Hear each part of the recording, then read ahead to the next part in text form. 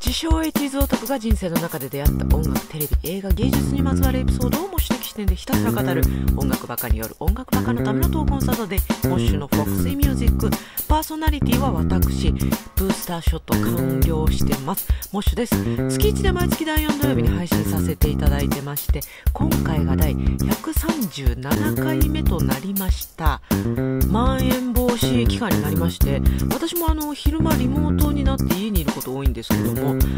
動不足気になります。もうね、無理やり買い出しに出たりとか、牛乳1個とかでも、毎日何か見つけてはちょっと行こうとか、えーゴミ捨てのね、階段、上り下り程度じゃちょっとね、ダメなんですよね。えーまあやっぱ歩かないとということなんですけども、そんな中で、あの、渋谷で今やってるオカンアート展、これ見に行ってきまして、ほっこりした気持ちになりました。なんかね、私が思うに、ああいうなんかほっこりドール系アート作る傾向のお母さんたちって、割と男の子育てた方が多いんじゃないかなと。なんかうちはあの女兄弟だからお父さん肩身狭い系だったけど、男だらけの家庭の中にお母さんがいるっていうのは、ある意味なんか、こう女子力を維持させたいみたいな何かが、こう、メラメラ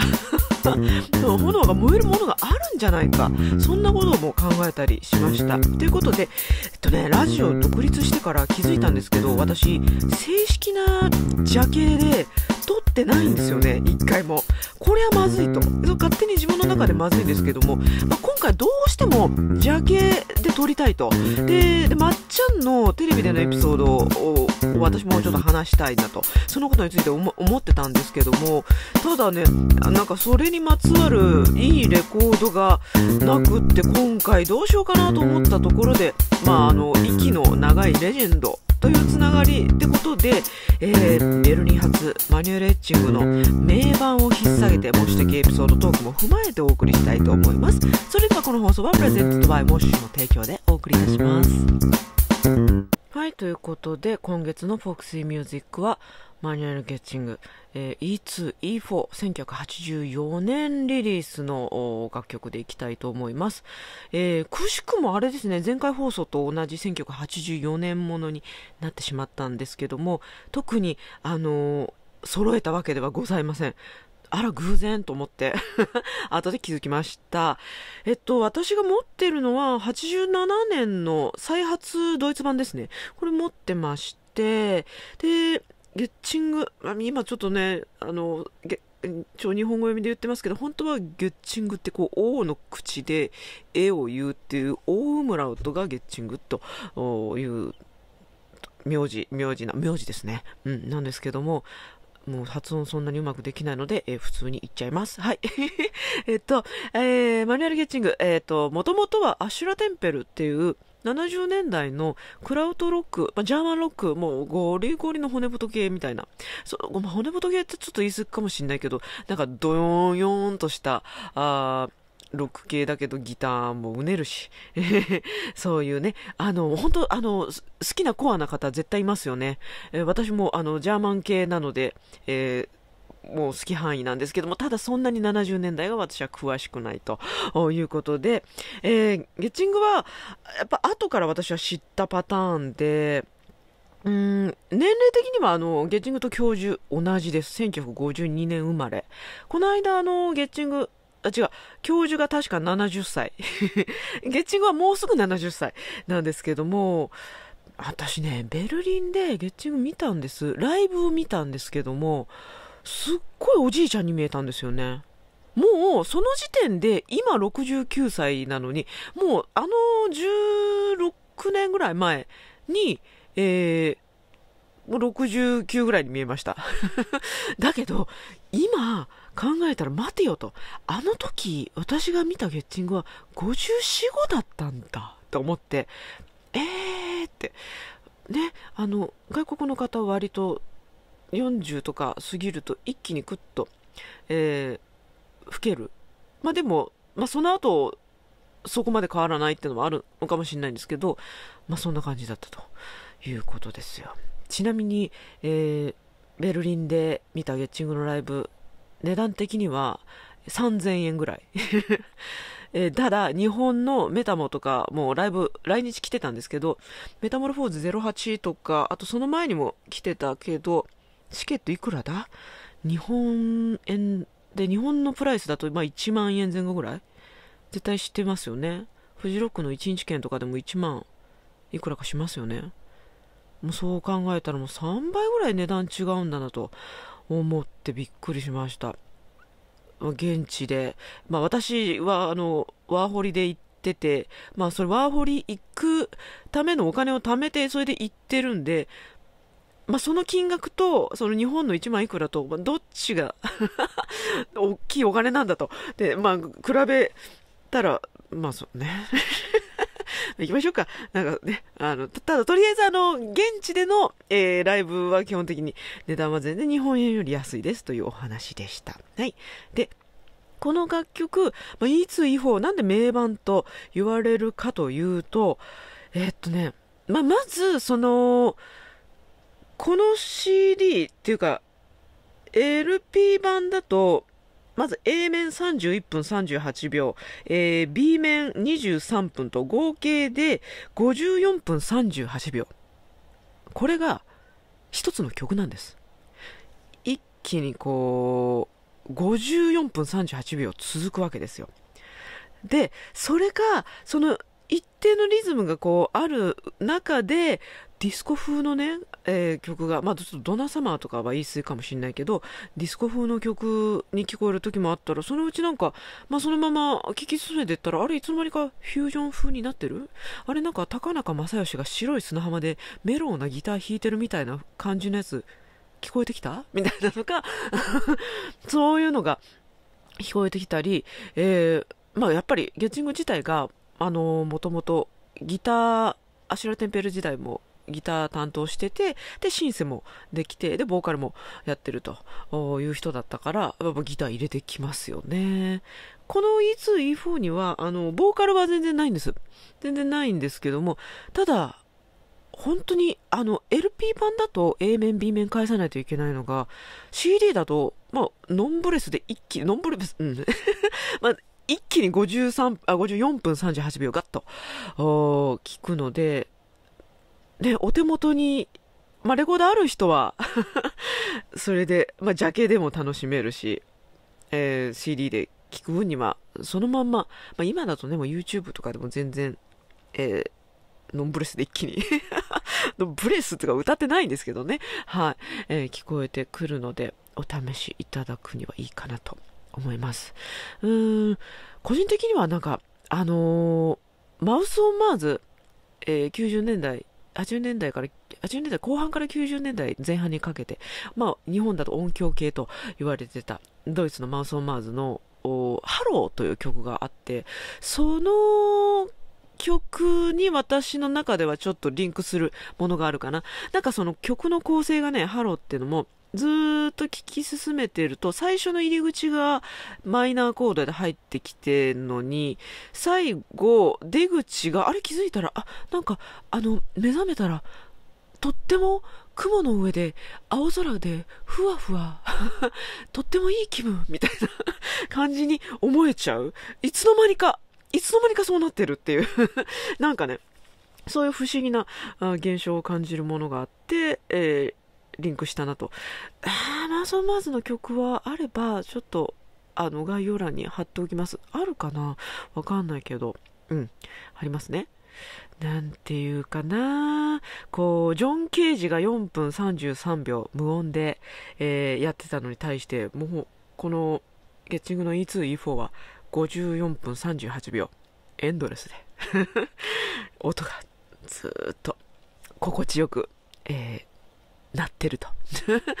いう、えー、楽曲のお話でした。あのね、もともと今日はゲッチング選考じゃなかったんですよ。あの、冒頭でも言ってたけど、まっちゃんの話、テレビで話してたまっちゃんの話がしたいと。で、そこに私も思うところがあって話したい。で、なんか、その時に、まあ俺も天才やからっていう話をしてて、で、天才ってワードでこうレコード探してたけど、うちの在庫にはなかなかちょっとなくって、うーん、あれなんか天才とは99%の努力と1%の才能？ああ、どっちだっけ？合ってた？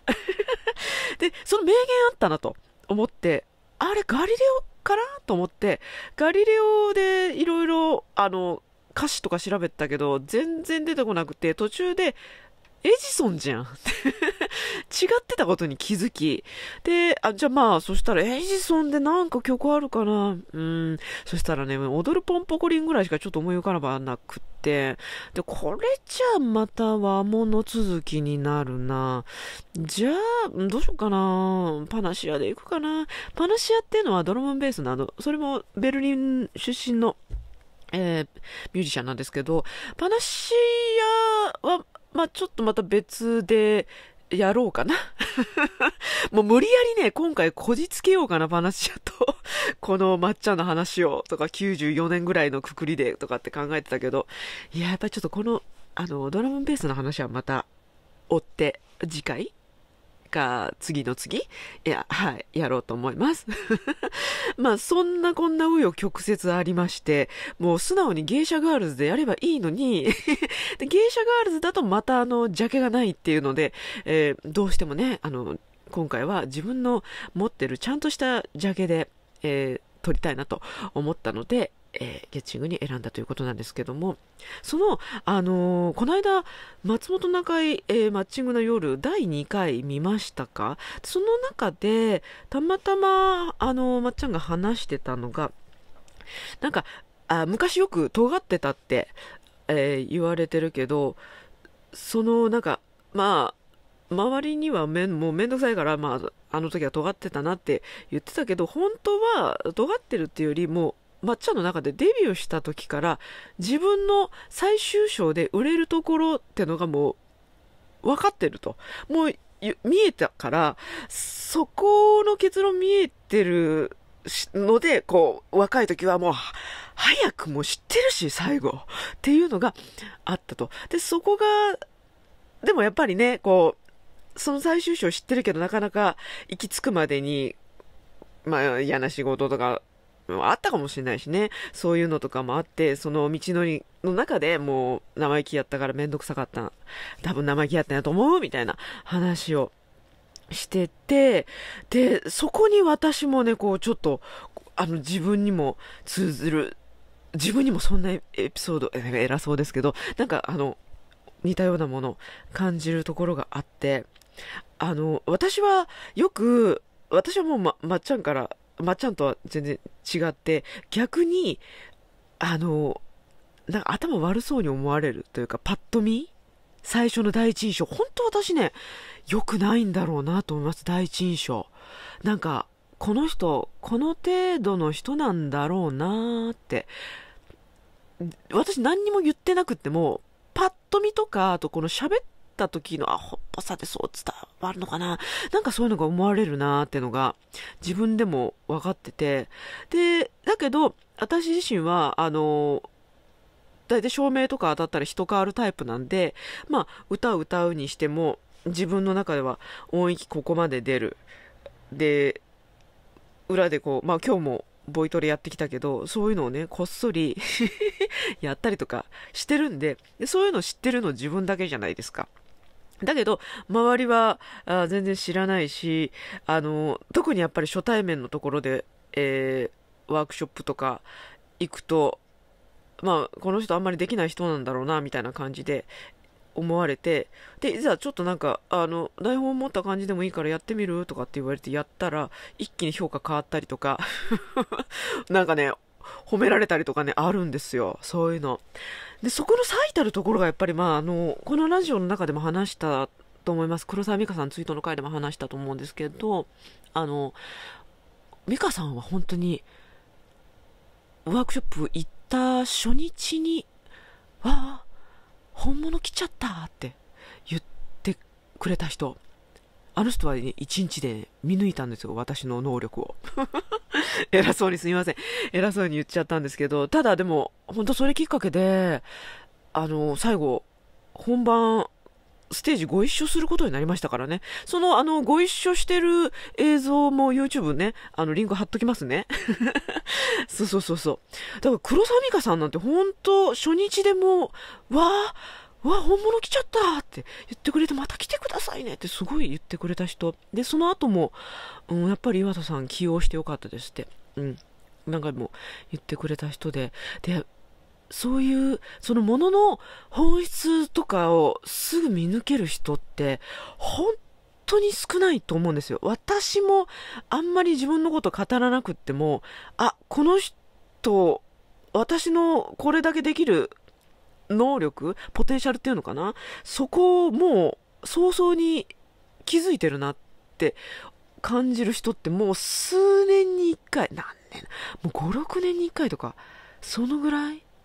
の、うん、ペースぐらいしか合わないから、だから、なんかね、まっちゃんがこう、もどかしかったっていうのも、すごいわかるんですよね。もう、誰よりも先に自分これだけできるしっていうのをもう分かってるし、そう、もう私もなんかもう、あの、偉さのかと言ったら、最後、あの、アカデミー賞の まあ、助演女優賞最優秀で、こう、なんか、登壇して、もう、あの、述べてるぐらいですよ。受賞の言葉をそれぐらい、えイメージしてるけども、まあね、ちょっと偉そうなことですいません 言い過ぎだったかもしれません。すいません。でも、そんぐらいのこと思ってるんですよ。そう。だけど、そのなんか、まっちゃんももうこれだけのことが見えてる。まあ、今はもうそこまでの成功を収めてきたからまっちゃんは今ね言ったんだと思うんですけど私はまだそこまで成功を収めてないのに先に言ってるっていう。アファメーション？なんかねえ話それましたからまたこんなんで頭あの悪く思われちゃうんでしょうけどうん。なんかそこを感じるところがあってであの、ま私自身に関しては子供の時から本当に幼稚園の時からずっとそういうのがあってあの第一印象良くなくって、で、大体その印象を持った人の、こう、イメージをこう、2倍、3倍ぐらいで上回って帰ってくるから、後で、あの、実はどんくさそうな、パッと見で思ってたけども、すいませんでしたと。走らせたら速いし、なんか勉強もそこそこできるし っていうのは小学校4年生の時に家庭訪問でうちのお母さんがあの人は見かけによっちゃやらないもんだというのが改めて分かりました。あすいませんでしたって言われたって 私には直接入ってきてないけどお母さんが言われたとかね。そんなこともあるし、えー、京都メトロで友達のイベント、まあ、結婚式の二次会の時も、どこの生まれの骨なんだみたいな感じで、えー、扱われて、機材をちょっと貸してもらえなかったんですよね。まあでも、京都の特性としてそういうのあるかもしれないなと思って、あ、いいです。あ、わかりました。じゃあ自分でやります。って言ってやったら、その会場内でもう、今日一のパフォーマンス私叩き出しちゃって、他の人たちもいっぱいいたんですけど、半端なくって、そしたら、あの、終わった後にスタッフが、あの、なんか機材ちょっと飛ぶっちゃって、あの、すいませんでしたと。私たちが機材貸してたらこんなことにはならなかったのに、なんかすいませんでしたみたいな。最終的に謝られるとかね。この生きてきて、えー、ずっと ね、あの、昨日今日始まったことじゃないんで、そういうのがずっと自分の中であるから、自分の中では分かってて、でもなかなかちょっと、まあ、周りとは追いついていかないし、えー、まあ、そういう意味もあって、あの、いざなんか発表するときには、もう絶対期待値上回ってやろうってぐらいにしたいから私もこう、日々、えー、努力を重ねえ努力とか言ってる。まあ、全然人に見せてないから頭悪そうにね 喋ってるように言えますけども、うん。あの、そういうの積み重ねてったりとかで、こう、貯めて貯めて、えー、ひたひたと ひたひたとね、こう、できることをね、こう、こう、スポンジにこう、し、湿らして 湿らしてるんですよ。そうそうそう。そんなことをやってるんで、えー、これからも日々精進して。えあの私の中での、えー、最終章はあのアカデミー賞で最後登壇して、え、受賞の言葉を述べてると。えーいうことなんで、ねえ、それは、そうだな、30年後とかでもあったらいいな。じゃあ30年後、あ、まだ生きてるか。いや、わかんない。生きてないかもしれないけど、まあ、20年後で来てたらいい方かな。えーそんなことは、えー思いますので、とにかく、まあ、ゲッチングとダウンタウンのように、私も息を長く腐らずに続けていきたいなと思っております。いやー、最後自分の話、めちゃめちゃ 長くなった。ゲッチングの話と同じぐらい長くなったかもしれないですね。